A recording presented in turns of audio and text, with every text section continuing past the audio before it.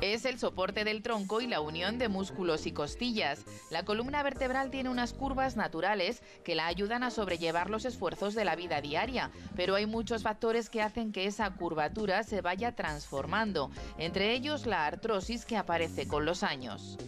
El sedentarismo, no tener una buena arquitectura muscular para que soporte nuestra columna. Por ejemplo, los malos hábitos eh, eh, posicionales eh, no sentarse adecuadamente. Y por supuesto, la obesidad. Los kilos de más son, junto al sedentarismo, los responsables de que haya aumentado un 20% anual el número de jóvenes españoles con dolores de espalda. Si con el tiempo no corrigen estos factores, irán desarrollando lo que se llama una escoliosis degenerativa. La curvatura de la columna se incrementa en cada uno de sus ángulos y eso pasa factura. Dentro de la columna van eh, pues arriba médula y a partir de T12L1 eh, van raíces y por determinados agujeritos, eh, que son los forámenes, salen esas raíces. Entonces cuando se produce una curvatura que además está incrementada por un cuadro artrósico, se produce un compromiso de esas estructuras neurológicas, médula o raíces.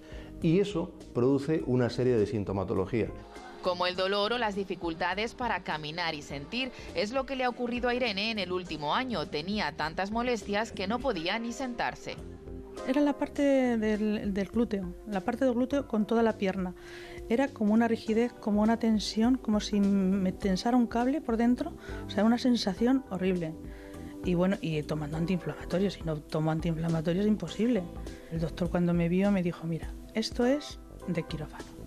Entonces puedes dar las vueltas que te dé la gana, puedes hacer lo que quieras, pero al final vas a entrar en quirófano. Entre un 80 y un 85% de los españoles tendrán dolor de espalda a lo largo de su vida. Cuando los fármacos y la rehabilitación no dan resultado, no queda más remedio que pasar por el quirófano. Una nueva tecnología permite hacerlo de manera más segura.